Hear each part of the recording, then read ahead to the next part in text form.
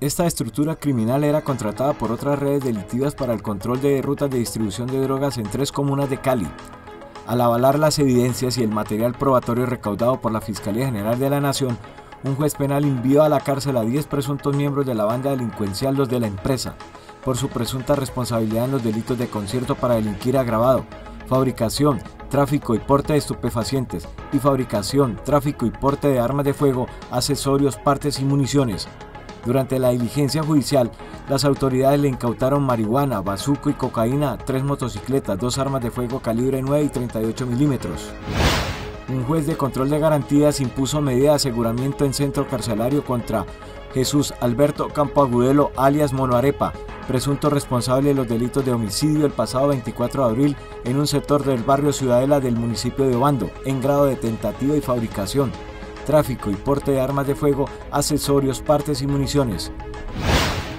Por petición de un fiscal de la seccional Valle del Cauca, un juez de control de garantías privó la libertad en centro carcelario a Michael Andrés Díaz Ardila, presunto responsable de los delitos de tentativa de homicidio agravado en concurso heterogéneo con hurto calificado y agravado.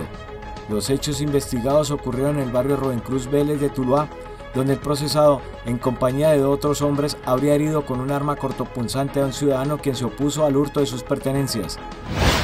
Capturado alias Motato por supuesto delito de homicidio. El hecho sucedió el día 3 de noviembre del 2021, donde resultó lesionado con arma de fuego el señor Edward Yesí del municipio de Yotoco. Alias Motato es capturado por los delitos de homicidio en grave tentativa agravado, en concurso con fabricación, porte y tráfico de arma de fuego, es conducido en vehículo institucional hasta las instalaciones policiales para llevar a cabo proceso de judicialización. Con medida de aseguramiento en centro carcelario a presuntos autores de los delitos de homicidio agravado en grave tentativa,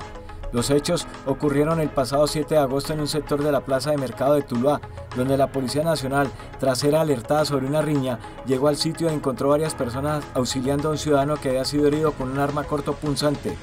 Las dos personas fueron detenidas por la policía y en su poder les fue encontrada el arma con la que habían causado las heridas a la víctima, quien reportó fracturas en su rostro. La víctima reconoció a los dos hombres como sus presuntos atacantes durante las audiencias concentradas. Los asegurados negaron su responsabilidad en los delitos imputados por la Fiscalía.